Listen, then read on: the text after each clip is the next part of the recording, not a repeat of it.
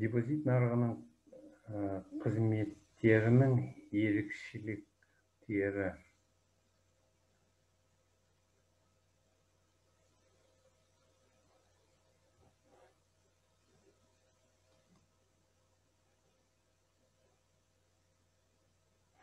Кез келген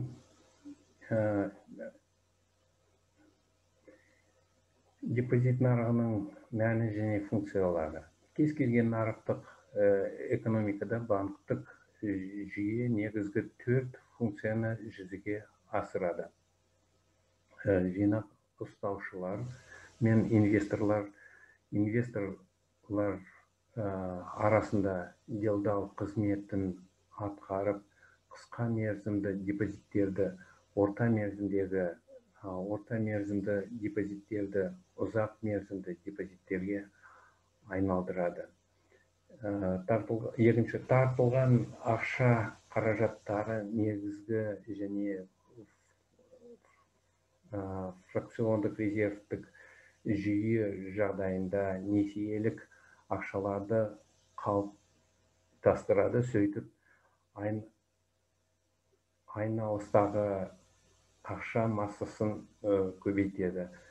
Банктердің депозиттік және несиелік саясаттары экономикадағы ақша ұсынысына әсерін тигізеді.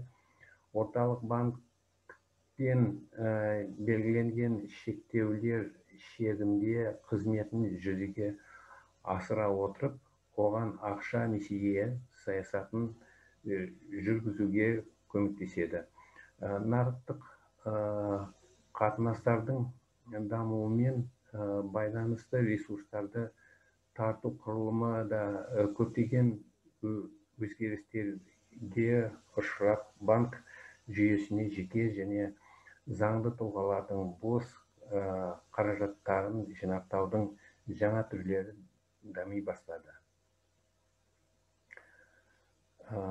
Қазіргі банктік тәжірибеде салымдардың және депозиттік шоттардың көптеген түрлері кездеседі. Бұл банктерді бәсекелестігі жоғары нарықта банктік шоттарға жинақтарды және уақытша бос қаражаттарды тартып осы банктік ресурстарға деген әртүрлі клиенттер тобының сұраныстарын мейлінше қанағаттандыруға ұмтылуымен байланысты. Қазақстан республикасының қазақстан республика банктер және банктік қызмет қызметтер туралы заңында депозит анықтамасы келесідей берілген. Депозит дегеніміз бұл бір тұлғалы тұлғаны депозиторды екінші тұлға банкке соның ішінде ұлттық банкке олар талап етуі бойынша немесе белгілі бір уақыт өткеннен кейін толығымен немесе бөлшектеп алдын ала келісілген сыйақымен немесе сыйақысыз тікелей салымша салымшыға депозиторға қайтарылуы тиіс немесе оның бұйрығы бойынша басқа бір тұлғаға берілуі тиіс ақша сомасы. Банктік депозит салымшының банкке алдын ала келісілген сый ақы қосылып қайтарылу шарты негізінде берілген ақша қаражаттары. Депозиттік операциялар коммерциялық банк үшін оның ресурсын қалыптастырудың ең негізгі көзі болып табылады.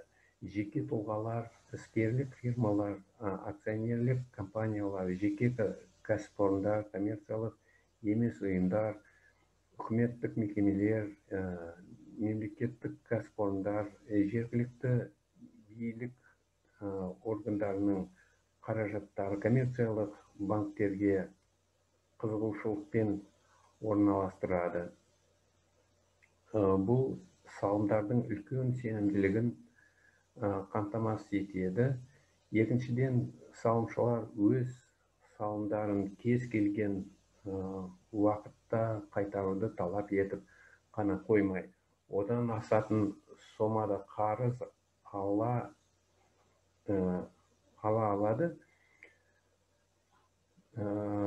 Үшіншіден бұл салымдар табыс әкеледі банктерге орналастырылған уақытша бос ақша қаражаттары салымшы үшін екі рөл атқарады. Яғни бір жағынан кіріс әкелетін ақша ретінде ал екінші жағынан салымшыға табыс әкелетін капитал рөлін атқарады.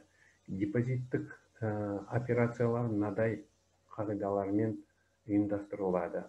Бірінші банктік пайда алуға немесе болашақта пайда алу үшін жағдай жасауға екінші депозиттік операциялар қызмет етуі керек. Үшінші банк балансының оперативтік өтімділігін демеу мақсатында икемді депозиттік саясат жүргізілуі керек.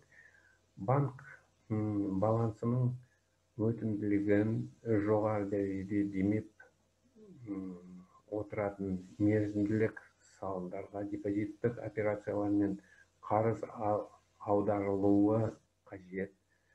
Депозиттік операциялар мен қарыздарды беру бойынша операциялардың арасында мерзім және сомалары бойынша өзара байланыс пен сабақтастықты қамтамасыз ету қажет.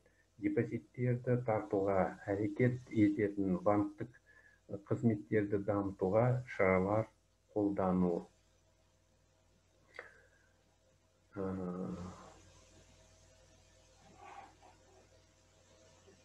Жинақ кассаларының жалпы жүйелік жобасы он тоғызыншы ғасыр дан басталады. Бұл он сегізінші жылдары барлық он сегізінші ғасырдың жылдарында барлық губерниялар және уездік қалаларда қайырымдылықты дамыту үшін құрылған болған. Одан жинақталған қаражатқа ауруханалар мүгедектер үйі жетім балалар үйлері жабдықталатын болған. Кейіннен қаржы жүйесінің дамуы нәтижесінде 1860 жылы мемлекеттік банк құрылды. Оның бөлімшелері торабы қазақстан территориясында да құрыла бастады. Мемлекеттік банктің бірінші бөлімшелері орал петропавл семей және верный қалаларында құрылды. Жинақ несиелік есеп айырысу операциялары жүргізілетін. Ұсақ салымшыларға қызмет көрсетілетін салымдар жалпы негізде алынатын. Ал қаржылар қаржылар қаржыларды қайтару және ұсақ несие беру орталық касса есебінен жүргізілетін яғни қаражат осының есебінен алынатын болған.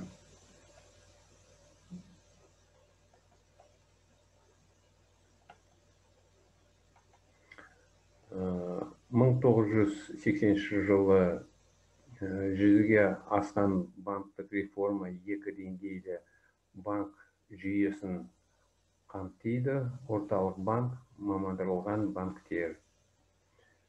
Э, тәуелсіздік алғаннан кейін 1990 жылдың желтоқсанынан бастап қазақстан нарықтық экономика талаптарына сай келетін банктік жүйені қалыптастыруға кірісті. 1991 жылдың қаңтарында қазақ сср дағы банктер және банктік жүйе туралы заң қабылданды. 93 э, жылы жинақ банкісі қазақстан республикасына тиесілі қазақстан жинақ банкісі болып тәуелсіз заңды құрылым болып қайта құрылады. Қазіргі кезеңде Э, халыққа банктік қызмет көрсету э, төрт негізгі э, жүйе жүйе құраушы екінші деңгейлі банктерді қарастыруға болады. Олар халық халық банкі ә, центр кредит банкі казкоммерц банкі Э, Каспий банка.